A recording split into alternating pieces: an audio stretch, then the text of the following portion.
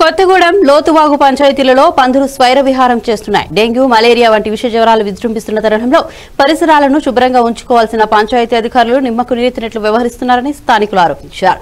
ఈ పందుల వల్ల రైతన్నులు వారి పంటను ఎలా రక్షించుకోవాలో అర్థం కాని సందిగ్ధంలో పడ్డారు.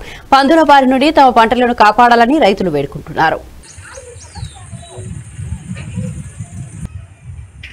ఆడేడు అప్పు చేసి అరకోనికి కూలోడికి నాలోడికి నేను ఇట్ట పెట్టి ఇట్ట పందులు రెయ్యి వగులు వస్తున్నాయి మనం అంటే వాళ్ళు ఏం అంటలేదు నాయన. చెప్తే ఏం చేస్తారు?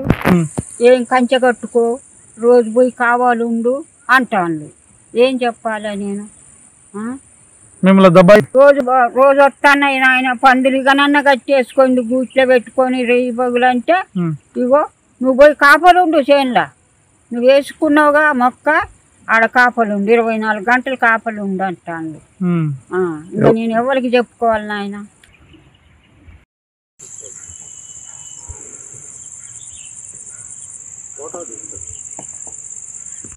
నా పేరు వంక సత్యం అండి. అరవై డెబ్బై సంవత్సరాల నుంచి సాగు చేసుకుంటున్న పొలము. ఈ పందుల కోసం నేను చాలా ఇబ్బంది పడుతున్నా బాబా. చెప్పు.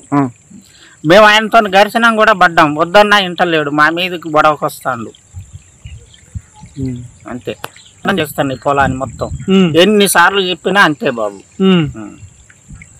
అసలు ఎన్నే వినడు ఉమ్.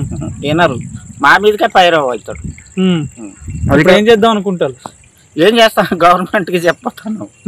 అంతే బాబా. వాళ్ళపై ఏమన్నా దయ ఉండేది ఉంటే ఆయన బంధు పెడతారు.